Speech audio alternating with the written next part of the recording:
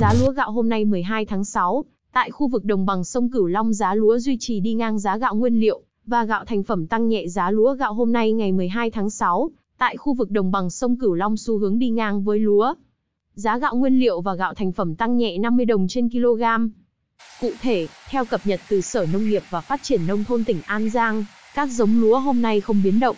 Trong đó, lúa Ir 50.404 giá giao động quanh mốc 7.400, 7.500 đồng trên kg, nếp Long An, khô ở mức 9.500-9.700 đồng trên kg, lúa đài thơm 8 giá 7.800-8.000 đồng trên kg, lúa om 5.451 giá ổn định 7.600, 7.700 đồng trên kg, lúa om 18 có giá 7.800-8.000 đồng trên kg, om 380 dao động từ 7.500, 7.600 đồng trên kg, lúa Nhật ở mốc 7.800, 8.000 đồng trên kg, nàng hoa chín giá 7.600, 7.700 đồng trên kg và lúa nàng nhen, khô ở mức 20.000 đồng trên kg, nếp đùm 3 tháng khô 8.800 9.000 đồng trên kg.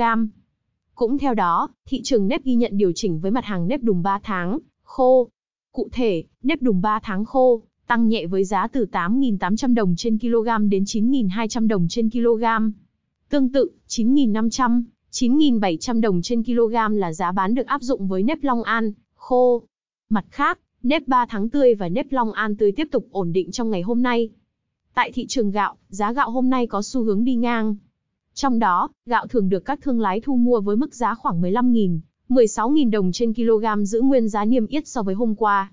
Các mặt hàng gạo khác giữ nguyên giá niêm yết so với hôm qua.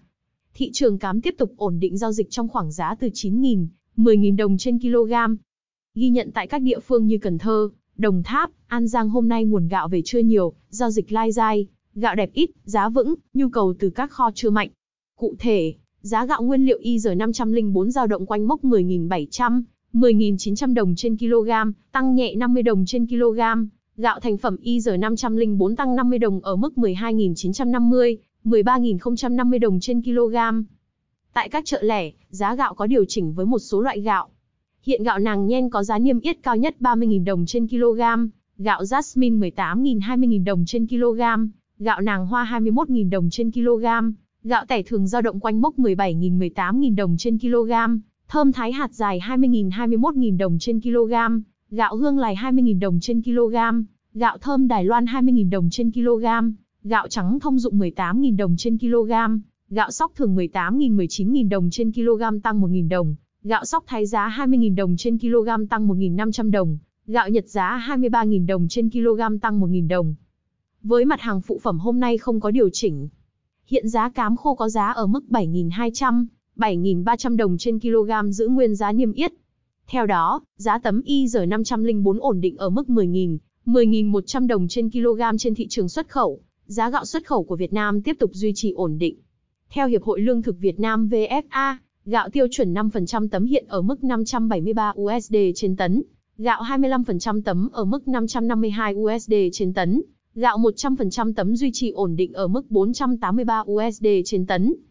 Cũng theo VFA, giá gạo 5% tấm của Việt Nam là 573 USD trên tấn, giảm 1 USD trên tấn, trong khi gạo Thái Lan lại tăng 2 USD, lên 622 USD trên tấn, gạo Pakistan 587 USD trên tấn, giảm 6 USD trên tấn.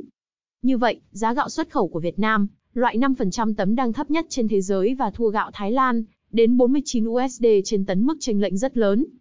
Thông tin mang tính tham khảo giá cao thấp tùy từng vùng thời điểm khác nhau,